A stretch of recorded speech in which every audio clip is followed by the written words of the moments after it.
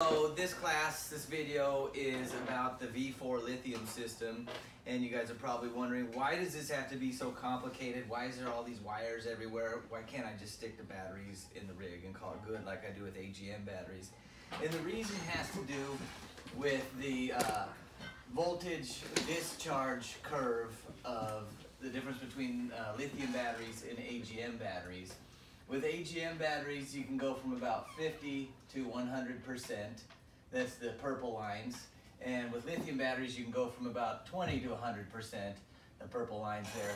But notice the green lines that show the voltage change as you go from 50 to 100% and 20 to 100%. With the AGM batteries, there's a big gap there. And with the lithium batteries, it's just a tiny gap. So for most of the cycle of a lithium battery, it stays at the same voltage, which makes it very complicated to manage to keep the battery from getting overcharged or over discharged. Whereas with an AGM battery, there's a lot more uh, variability. So it's really easy to have devices in there like inverters that automatically shut off when the AGM batteries reach a certain voltage or whatever, or uh, battery protects that shut off the DC loads when it reaches a certain voltage, and it only reaches this certain high voltage and just it doesn't spike up like it does with lithium batteries. It reaches it and then kind of it's not as a dramatic spike that could damage the batteries like it is with lithium batteries. So with lithium batteries, you have to have a battery management system in there that's a much more complex way of monitoring the battery voltage to tell when the battery's overcharged or over discharged. And in the Victron lithium batteries, they have a built-in battery management system that sends data through an M8 cable to the VE bus BMS. And do we have one of those here that I can just grab? Yes.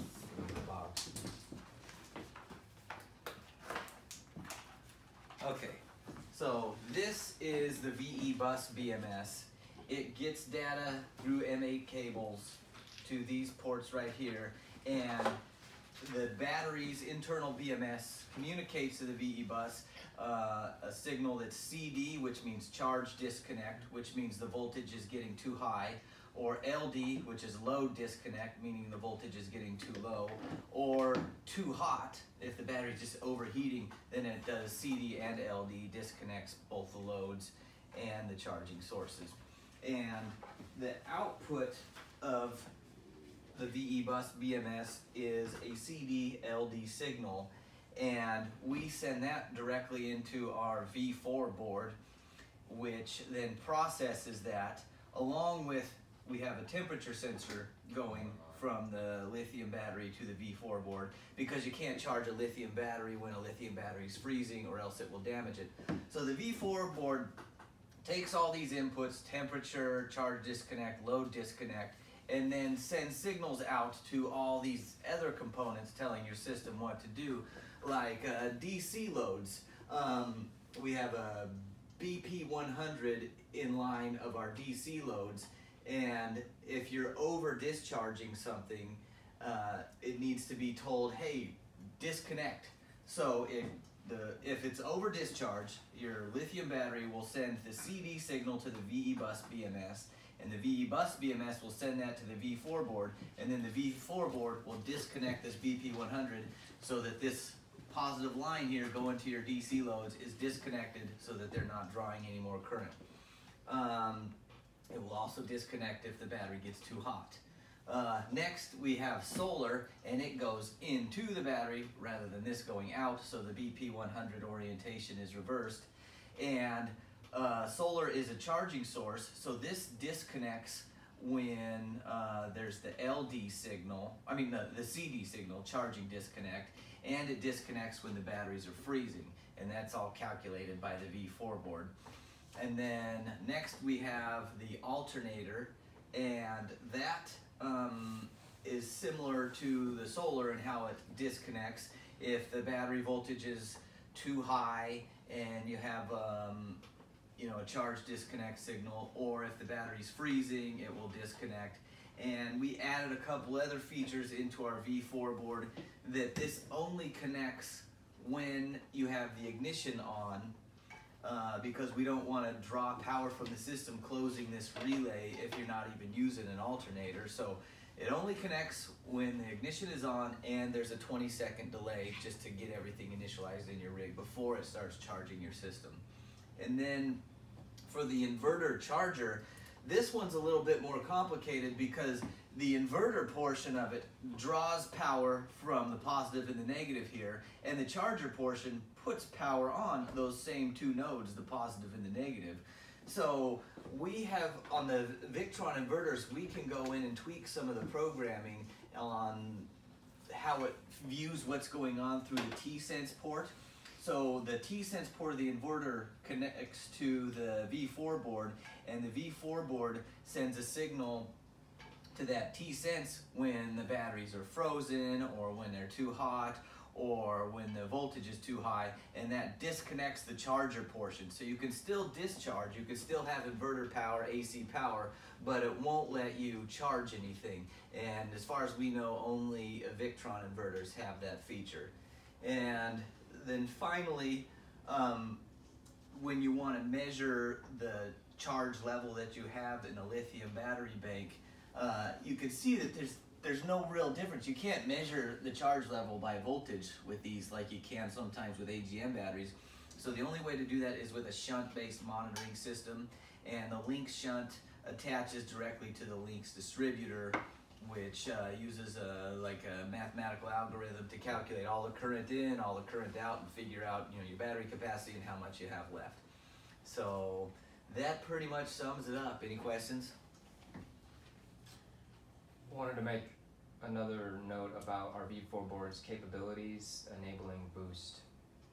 Oh, that's a good point. So uh, we have a boost feature on the control board, which you would use if your starter battery was dead. You push a boost button, it bypasses the starter battery and sends current through this alternator thing to turn your ignition uh, by the lithium batteries rather than your starter batteries.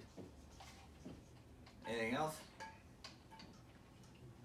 You guys experts on this now? Absolutely. Good.